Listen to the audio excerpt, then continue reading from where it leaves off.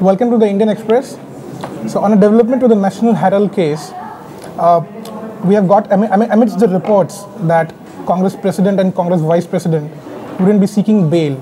So, Conan, can you please tell us what is what is expected on Saturday in this in this case? Yeah. Yeah. So Abhishek, uh, in pursuance to the summons issued by the trial court in the National Herald case, uh, Sonia Gandhi, Rahul Gandhi, and four others will be appearing before the trial court, who have been summoned on charges of criminal breach of trust, criminal conspiracy, and misappropriation of funds in the National Herald case. So at first they would be um appearing before the judge.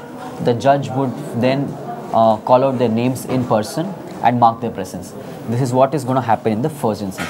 If at all any one of them is not appearing, the defense counsels would then have to seek exemption.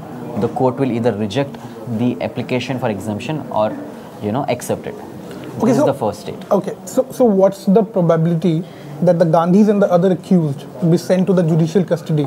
Yeah, there are reports that they would be sent to Tihar, but it is very unlikely that they would be sent to Tihar because this is a case of a private criminal complaint. Okay. In a private criminal complaint, the court will first ask, mm-hmm. because they've been summoned now, mm-hmm. the court will first ask Subramanian Swamy, the complainant in the case, uh-huh. to first lead the pre-charge evidence. Okay.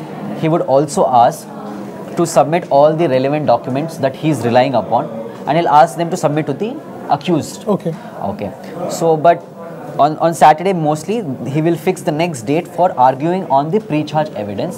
So what happens if the So Swamy what- lead, leads the pre-charge So, evidence? yeah. Ah. So once Swamy leads the pre-charge evidence, the court will then look in, look into it, and then he will ask then to argue on framing of charges. okay.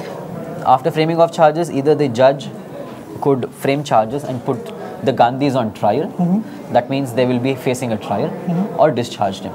This is the procedure. Uh, so Conan, what happens when Swamy completes leading the pre-charge evidence? So once Swamy uh, completes leading his pre-charge evidence, the Yeah. court would uh, then fix for uh, arguments and framing of charges. Okay. This would the first time that Gandhi's lawyers will appear before the court and argue against the case. Okay. If there is uh, prima facie uh, evidence in in the court, then the court will then frame charges and put Gandhis on trial. Mm-hmm. If if there is no evidence, then Gandhis would be discharged in the case, and he would they would be given a clean sheet in the case. So it seems the Saturday is a big day. Uh, thank you, Conan, for your valuable inputs. Thanks so much. And thanks for watching the Indian Express.